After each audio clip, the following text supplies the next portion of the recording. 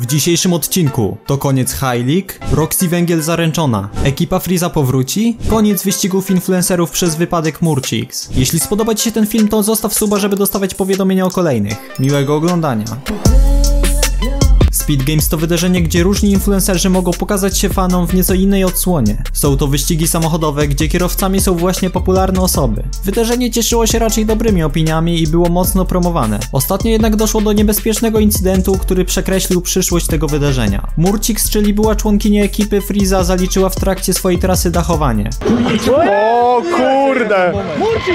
O! O kurwa! O kurwa, mać! Co się stało? O kur... Murcik, Murcik! O kur... Nie nagrywaj tego stary. Pomimo, że incydent wyglądał nieciekawie, to na szczęście nikomu nic się nie stało. Organizacja jednak podjęła po tym wszystkim pewne kroki, a mianowicie ogłosili, że od początku chcieli promować bezpieczną jazdę wśród amatorów motosportu, lecz po tym wypadku nie zorganizują już więcej wyścigów influencerów, a pojazdami będą kierować od tej pory jedynie profesjonaliści. Myślę, że na pewno odbije się to bardzo na popularności tego eventu. Zostańmy przy temacie Murciks, ale pomówimy tym razem o ekipie. Od jakiegoś czasu dużo mówi się o powrocie ekipy. Wszystko zaczął Minimike, który w jednym z wywiadów na pytanie o powrocie ekipy odpowiedział, że rozmowy trwają i wszystko wyjdzie w praniu. Później Patec w kanale sportowym również powiedział, że takowe rozmowy trwają, ale na ten moment nie wie jak się zakończą. Nowe światło na sprawę postawiła teraz Marta Błoch, która w wywiadzie stanowczo powiedziała, że jest to jakieś nieporozumienie. Co myślisz o powrocie e, ekipy?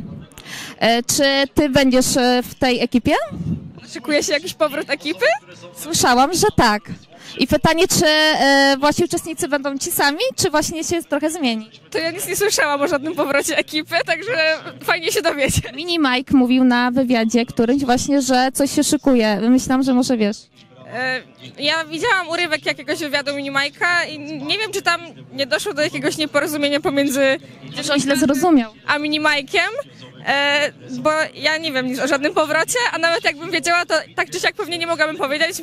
Raczej byłoby to tajemnicą, póki co. Szanse na powrót ekipy w starym składzie są unikłe i bez znaczenia czy są prowadzone, czy nie są prowadzone te ich rozmowy, to jednak drogi ekipowiczów na tyle się rozeszły, że chyba ten projekt nie miałby już sensu. Teraz taki szybki newsik. Roxy Węgiel to młoda wokalistka, zwyciężczyni The Voice Kids, czy też Eurowizji Junior. Po ukończeniu 18 lat artystka coraz bardziej zaskakuje swoich fanów. Zrobiła ogromny szum w internecie po ogłoszeniu jej związku z o wiele starszym Kevinem. I na tym nie zaprzestała. 28 maja ogłosiła na swoim Instagramie, że jest z nim od kilku miesięcy zaręczona. Jest to oczywiście ich własna decyzja i wszelkie komentarze i opinie ze strony różnych portali na ten temat jest raczej zbędna. Pod postem dziewczyny zauważyłem bardzo trafny komentarz, który idealnie podsumowuje tą całą sprawę. Siostra robi speedrun życia. Pora na ostatniego i najbardziej zaskakującego newsa na dziś. 17 czerwca ma odbyć się siódma edycja High League. Była konferencja, ruszyły pierwsze programy rundek i wszystko szło zgodnie z planem. Jednak niespodziewanie w obieg mediów wyszedł niepokojący dokument od ministra spraw wewnętrznych i administracji. Tam czarno na białym jest napisane, że spółce League zostają zamrożone wszelkie środki finansowe. Dlaczego? Pozwólcie, że zacytuję fragment.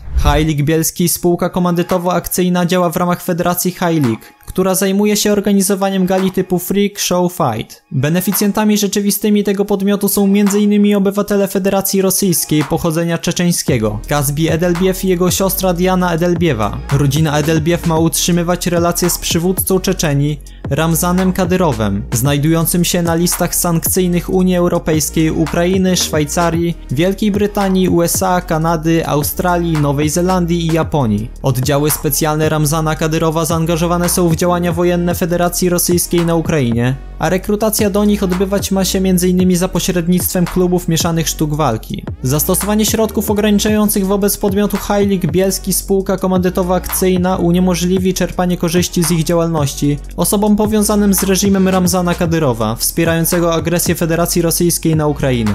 Jest to bardzo poważna sprawa, a najbliższy HL w takim razie może stać pod wielkim znakiem zapytania, bo skoro ich finanse są zamrożone, to w jaki sposób właściciele chcą opłacić zawodników i całą organizację zbliżającego się wydarzenia? Trzeba cierpliwie czekać na info od Wysokiej Ligi, bo może jest to wielkie nieporozumienie, albo jakoś wybrnął z tej sytuacji, albo wszystko to prawda i Fame przejmie monopol polskiego freak fightu.